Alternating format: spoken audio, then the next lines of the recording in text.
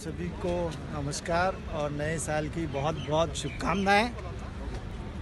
आपको पता है कि नया साल से साथ में नए हम काम करें ऐसा लगता है सभी को। साथ में मुझे ऐसा लगता है कि इसकी शुरुआत नए सोच से होना चाहिए और यह नई सोच आरक्षण के बारे में मैं आपके सामने रखना चाहता हूँ क्योंकि आज़ादी के सत्तर साल हो गए हैं हम्म। लेकिन क्या आपको लगता है जो सोशली और एजुकेशनली बैकवर्ड है जो पीछे है उन सबको लाभ पहुँच रहा है।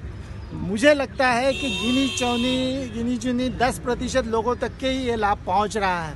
आप देखेंगे। तो आप चाहते क्या हैं? मैं बताता हूँ ना लेकिन इसके लिए हम्म। पहले उदाहरण देना चाहूँगा मैं कि एस में शेड्यूल कास्ट की जो लिस्ट है उसमें मुझे लोग कुछ मिलने आए। उन्होंने कहा कि मैं आप मैंने पूछा आप क्या चाहते हो? वो बोले, हमारे जाति के लोग बहुत पिछड़े हुए हैं। मैंने पूछा, आप कौन से इसमें हो? तो वो बताया, मातंग समाज के हैं हम। मातंग समाज शेड्यूल कास्ट के लिस्ट में आता है। तो आप इतने पिछड़े क्यों बोल रहे हो? आपको तो सभी लाभ मिलता है। तो उन्होंने कहा कि जो एजुकेशनली शैक्षिक दृष्टिया जो आगे गए हैं, वही बार बार लाभ उठा रहे हैं। और दूसरी बात ये भी रखना चाहता हूँ कि शेड्यूल ट्राइब अनुसूचित जमाती में जो भी है उसमें मीना जमाती का आप देखेंगे, मैं उनके खिलाफ नहीं हूँ, मैं ये चाहता हूँ कि उन्होंने तो अच्छा काम किया और खुद बहुत आगे बढ़े।